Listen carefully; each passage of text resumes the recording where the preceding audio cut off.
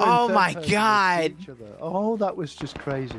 BLUFOR knew he was there too, but he knew he couldn't do anything because if he shoots his gun, everyone else is gonna come to uh, inspect that.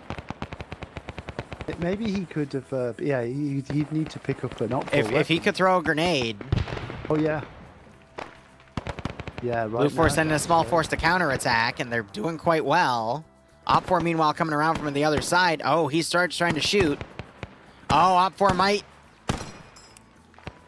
Oh, no. Flux heard it.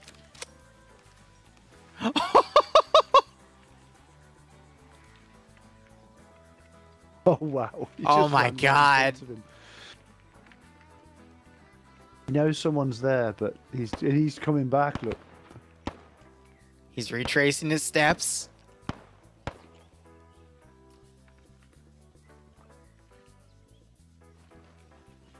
There's always the human factor with these That's things. Will the amazing. guy- Will the, guy decide, oh, I must have made a mis- mistake, and I'm just Right. gonna, I'm just going to walk on? Never do that. Never do that. If you have an instinct, you should always, Always follow that instinct, yep. Yeah.